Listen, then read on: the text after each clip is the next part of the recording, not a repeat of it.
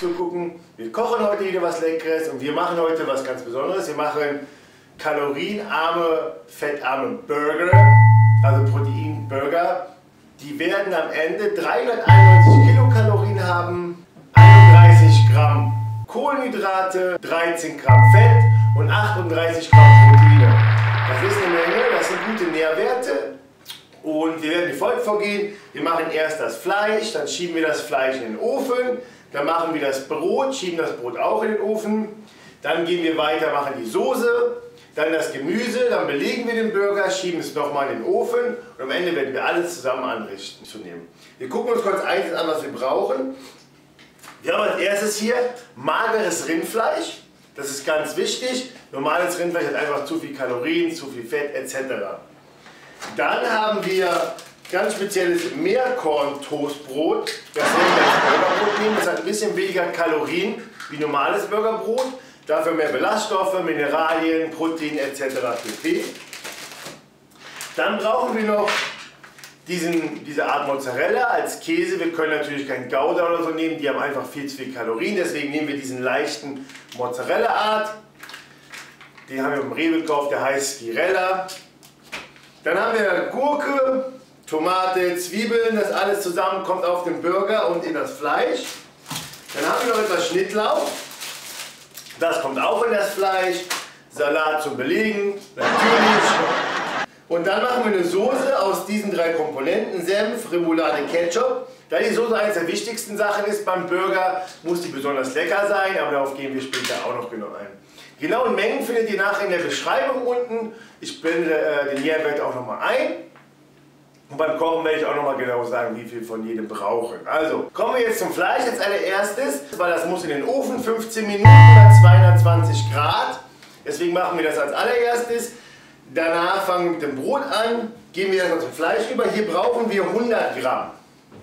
100 Gramm. Ich mache ein bisschen mehr heute, weil ich mache mehr als einen Burger. Ähm, wir brauchen 100 Gramm, das ist ein Viertel von der Packung, das kann man gleich sehen, leicht sehen, steht drauf 400 Gramm, dann ein Viertel ist das hier. Wir nehmen aber die halbe Packung, ich mache es nur mit der Hand, alles, ne, Frikadellen, Burgerfleisch, muss man mit der Hand machen. Wir nehmen jetzt 200 Gramm, aber wir haben für jeden Burger nur ungefähr 50 Gramm Fleisch gerechnet. So, dann brauchen wir das Fleisch, das haben wir hier. Dann nehmen wir ein halbes Ei, Ich mache das hier auf. Super. Also wir machen das Ei auf. Die Hälfte da rein. Halb Eigelb und Dings. Supi. Läuft. Dann ein Stück Papier.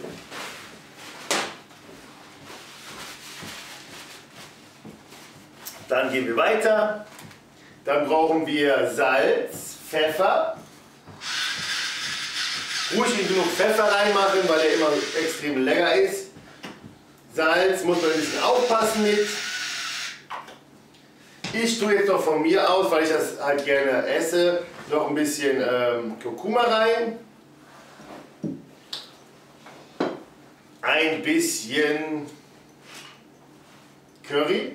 Den Ofen man, kann man schon mal vorheizen. Ich habe den schon mal angestellt hier. So, was jetzt noch reinkommt, ist ganz fein geschnittene Zwiebeln. Das ist sehr wichtig. Die binden nämlich und geben lecker Geschmack. Halbe Zwiebel machen wir jetzt, machen wir jetzt die halbe Zwiebel für die, das Fleisch. Und die andere Hälfte, also wir haben hier berechnet ungefähr 30 Gramm Zwiebeln. Davon gehen 20 in das Fleisch und 10, das ist dann ein Zwiebelring, geht auf den Burger. Also einmal in der Mitte durchschneiden, zur Seite legen, das große Stück nach vorne und dann. Da ist schon zu viel. Schneidet man nicht alles auf, weil wir brauchen ja nicht viel. Wir nehmen nur das Stück hier, fein geschnittene Zwiebeln, ist ganz wichtig da. So. Ah, das reicht auch schon für die Menge. Ich nehme noch ein bisschen mehr. Ich stehe auf Zwiebeln im Burger.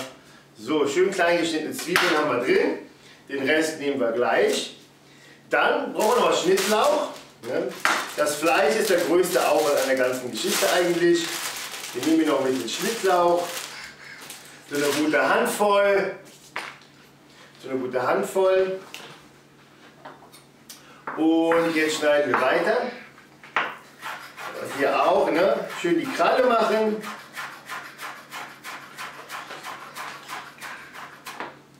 Und dann geht's weiter. So, das reicht auch. Das kommt alles da rein und voilà, da haben wir es. Was wir jetzt noch machen können als kleiner Trick, ist, wir nehmen das Brot, das haben wir hier, und wir bröseln so ein bisschen von dem Brot da drin da rein. Erstmal haben wir dann weniger Kalorien, wenn wir jetzt noch Weißbrot oder so nehmen. Zweitens bindet das besser. Und drittens hat das Brot eine schönere Kuhle, um es nachher zu belegen. Und das, die Menge hier, ihr seht das, das ist nicht viel, das reicht schon, um das nochmal nachzubinden. Also, jetzt machen wir das mit der Hand, tun wir das schön verrühren, ne, wie man Frikadellen macht. Oh, da wackelt die Kamera. Tun wir das schön mit den Händen verrühren, ne, dass das was schön Matschiges gibt.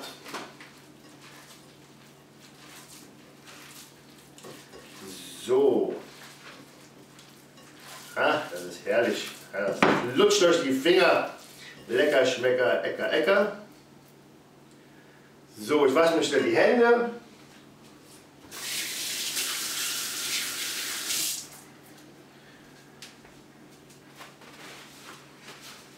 Weil jetzt brauchen wir ein bisschen Backpapier. Das haben wir hier. Wichtig ist bei der ganzen Sache erstmal, dass die Frikadellen natürlich schön dünn sind. Ne? Wir wollen da keine dicken Oschis drauflegen. Wir wollen da keine dicken Oschis drauflegen, sondern schöne flache Dinger. Wenn die Hände ein bisschen nass sind, dann kann man das besser wickeln. Und wenn man so eine Kuhle nimmt, dann sind das ungefähr 50 Gramm. So, dann legen wir das hier drauf. Einmal umdrehen, wirklich schön platt drücken dass die schön dünn sind und schön in Form bringen. Ich mache jetzt vier Stück, weil wie gesagt, ich mache mehr Burger.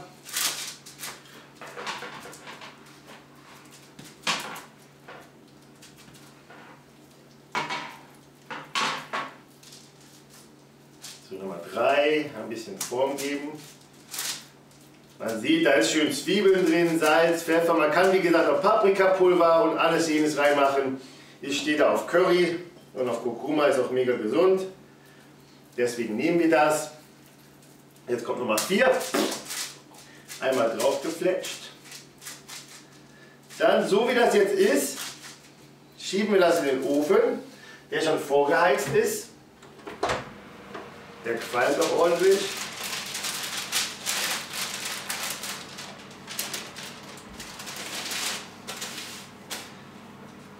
So, 15 Minuten. Das war das Fleisch.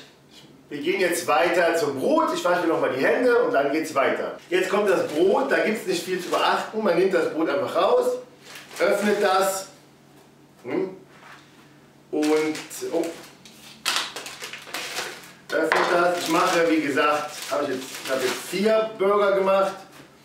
Ich schiebe die jetzt schon alle in den Ofen damit die ein bisschen knackiger werden. Und dann später werde ich die auch direkt im Ofen belegen.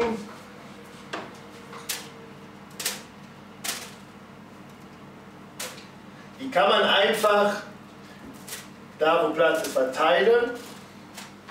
Muss man im Auge haben, nicht zu lange. Brot ist drin, das lassen wir zwei, drei Minuten. Gehen jetzt schon zum nächsten Schritt über wir müssen uns ein bisschen beeilen, damit das Brot nicht zu trocken wird. Da haben wir die Schüssel. Die Soße ist das Wichtigste am ganzen Burger. Hier haben wir mit wenig gerechnet. Also hier brauchen wir gerechnet 10 Gramm Remoulade. Ne? Das ist das. Mehr brauchen wir nicht. Ich nehme das Vierfache davon, weil ich vier Burger mache. Also Remoulade wirklich nur so einen halben Esslöffel. Ketchup dasselbe. Also ungefähr zwei Esslöffel für vier Burger oder ein Esslöffel für einen Burger Senf, dasselbe, flupp. Weiter in die Soße. Wir wollen das Ganze ja schön schmackhaft machen. Noch ein bisschen Schnittlauch. Ja, warte, die Kamera auf dem Tisch. So nicht zu viel, sonst, fällt, sonst schmeckt das zu schnittig. So Schnittlauch. Man kann noch Zwiebel reinmachen, wenn man will. Ich nehme jetzt den Schnittlauch. Dann kommt da auf jeden Fall wieder Salz rein, das ist ganz wichtig. Und Pfeffer. Die Soße beim Burger ist das A und the fucking O. Wenn die Soße nicht passt... Oh, oh. Keiner gesehen. Wenn die Soße nicht passt, dann passt halt alles nicht. Ich mache hier noch ein bisschen Curry rein. Ich stehe einfach auf Curry, so ist das. Und ganz zum Schluss als Geheimrezept einen ganz, ganz kleinen Spritzer Milch, damit das ein bisschen cremiger wird, ein bisschen flüssiger wird und wir mehr Soße haben. Und man sieht das jetzt hier schön, das sieht super lecker aus.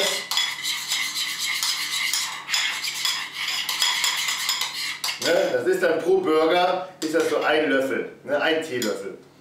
So, da haben wir die Soße, die wird am Ende zusammen 60 Kalorien ungefähr haben, was für zwei Teelöffel von etwas sehr viel ist, aber die Soße ist, muss lecker sein, sonst schmeckt der Burger einfach nicht. Also gehen wir weiter. So, jetzt kommt das Gemüse, der Käse und das Brot belegen. Das Brot ist jetzt fertig, das war jetzt 5 Minuten drin. Wir holen das raus, das ist super heiß. Fleisch sieht auch schon gut aus.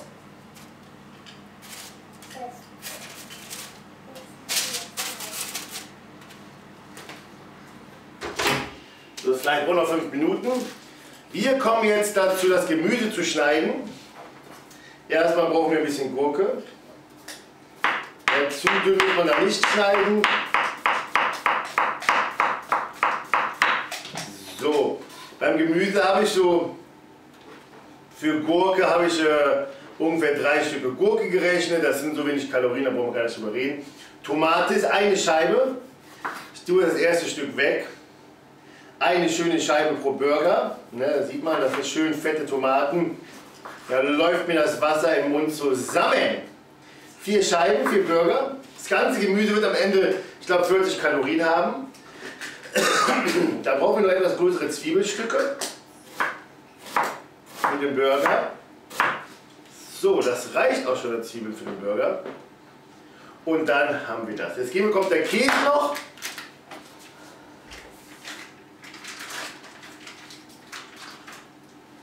Was wir nämlich jetzt machen, ich mache den Ofen erstmal auf. Weil wir nehmen jetzt gleich das Fleisch raus, belegen das und schieben das dann nochmal mit dem Käse rein. Ich mache mal auf, damit es nicht drin bleibt. Damit der Mozzarella schön geschmolzen ist. Wir haben hier so 40 Gramm pro Burger gerechnet. Das ist ungefähr drei so relativ dünne Scheiben. Ich sage immer, man kann alles nachwiegen. Ich habe das alles auch schon nachgewogen in meiner Freizeit. Das mache ich jetzt nicht vor der Kamera. Aber wenn man Pi mal Daumen isst, dann ist man immer gut in der Diät. Ne? Außer man sagt jetzt, äh, ich esse bis auf den letzten Kalorien, will ich es auskosten. So, alles bereit gelegt. Das Brot ist schon draußen. Jetzt hole ich nochmal schnell das Fleisch raus und belege das Fleisch, schiebe das nochmal rein und dann sind wir auch schon fast fertig. Ich hole mal das Fleisch jetzt raus. So, mega heiß das Backpapier, aber da haben wir es. Ja, wie immer das erste Stück hier vorne ist das Beste. Was wir jetzt machen, wir belegen das nochmal und schieben das dann nochmal kurz in den Ofen. Dazu Ne, einmal, einmal vom Papier lösen. Das sieht jetzt nicht ziemlich groß aus, ein Stück, aber das Brot ist auch nicht so groß. So, wir nehmen das Unterteil und das. Wo haben wir die Soße? Hier auf der rechten Seite. So, wir machen schon mal einen Schuss Soße da drauf. So, das war der erste halbe Löffel. Dann unten drunter kommt die Tomate, Fleisch, Jetzt kommen die Zwiebeln und dann die Gurke. So, und das überdecken wir jetzt mit dem Mozzarella. Ne? Guck mal, herrlich, herrlich. Das sind schöne kleine Bombenburger. Und schieben den dann jetzt wieder rein. Das machen wir jetzt viermal. Das machen wir jetzt viermal. Dann haben wir vier todes mega geile Burger ready hier. Mit schön Mozzarella, wenig Kalorien. Einfach der Hammer. Hammer lecker. Hammer gesund auch. Also das sind keine Burger, die man, wo man sagen kann, die sind in Richtung Fast Food. Und wenn das alles nochmal im Ofen war, ist das auch alles schön warm. Schön warm. Knackig. Ne? Der Mozzarella ist leicht geschmolzen. Und dann ist das, auch eine, ist das auch einfach nur herrlich zu essen. An einem Sonntag freue ich mich schon richtig drauf. Ich werde ab morgen wieder mit der Diät und Training hart anfangen. Da habe ich auch einen neuen äh, Vlog, also Vlog, den ich laufen lasse. Road to äh, Back to Sixpack. Wo ich dann meinen Trainingsplan, den ich zu Hause machen muss, leider, etc. Ernährung, meinen Ernährungsplan, den ich dann haben werde, alles kurz erkläre. Die Story für meinen Unfall und wie ich nach dem Unfall jetzt wieder äh, fit werden will. So, das ist fertig. Ofen zumachen. Jetzt Hitze nur noch von oben kommen lassen. Und da warten wir so mal 5 Minuten. Die Zeit ist um, der Käse ist leicht geschmolzen. Wir holen mal einen Burger raus, richten den an und schauen uns den mal genauer an. Die anderen werde ich dann anrichten, wenn ihr nicht mehr dabei seid. Also wir kommen zum ersten Burger. Ich nehme mal das Prachtachsen gleich mit der Hand raus. Uh, super heiß. Man sieht, Mozzarella schön geschmolzen. Was jetzt eigentlich noch fehlt, ist ein bisschen Salat. Ne? Salat braucht jeder Burger einfach um diesen knackigen Geschmack. Da kann man so ein paar Blätter einfach abreißen, die schön oben drauf legen. Ja, ich nehme auch mal gerne viel von dem Salat, ich mag das super gerne so. Dann kommt der Top drauf, nehmen wir den, der ist super schön. Und et voilà, ist unser erster Burger fertig. Ja, man sieht, das ist ein schöner, gesunder Burger. 400 Kalorien hat das ganze Ding, viel Protein. Wenn man zwei davon isst, ist man auch eigentlich satt. So, wir schneiden das mal auf und schauen uns die mal von innen an. Beim Aufschneiden schön vorsichtig, damit er nicht aufeinander bricht. Ja. Gucken wir uns mal von drinnen an. Da ist es. Super schön. Wir haben den Mozzarella, wir haben den Salat, wir haben das Fleisch, ne, das magere Fleisch. Wir haben hier 35 Gramm Protein im ganzen Ding drin, das ist super viel. Und ähm, ich werde jetzt mal reinbeißen und schauen, wie der schmeckt. Mhm. Hammer, richtig gut. Der Mozzarella, toll. Ist auch Curry und Kurkuma, richtig lecker. Das Fleisch ist durch die Zwiebeln richtig saftig.